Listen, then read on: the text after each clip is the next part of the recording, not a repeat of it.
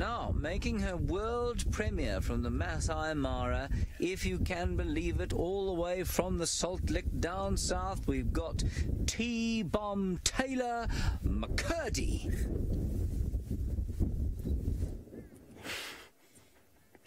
James, was that a boxing match? Hello, everybody.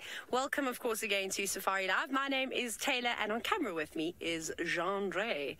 And yes, I made it safe and sound, missing a bag or two, but hopefully we're going to find all those wonderful things. Remember, this is live, this is interactive. Send through all of your questions, hashtag Safari Live, or you can chat to us on the YouTube chat. Now, we are searching for lions at the moment. I had a very interesting sighting on the back of Scotty's vehicle uh, on the Sunrise Safari, though you didn't see too much of us, uh, or you didn't hear me as well. How good am I being quiet? I thought was quite impressive. I just sit on my hands. Scott actually shoved a sock in my mouth because I wouldn't keep quiet most of the time. So that's why I was sitting so quietly.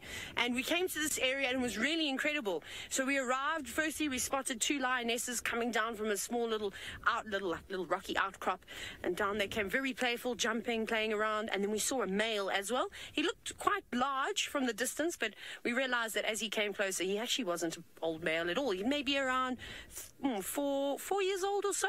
Then we spotted another two younger male lions in the distance, and they were slightly younger than the other boy. Anyway, the girls not interested in any of them. They were playing around. They actually looked like they wanted to find something.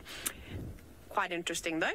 The young boys then saw the loner on his own and decided they didn't like his presence anymore. And the very smart uh, single lion decided this is not a good idea to get stuck between these two young, fresh boys. They looked like they were ready to roll. And anyway, they just sort of walked and chased him off and moved him out of the area. So we're looking for those five lions at the moment. Whether we're going to find them or not, I don't know. Whether we're going to make it home, that's also, well, We'll have to see because it's a big space for me to get lost in. Luckily, it's open. We've got the escarpment on one side and the river on the other.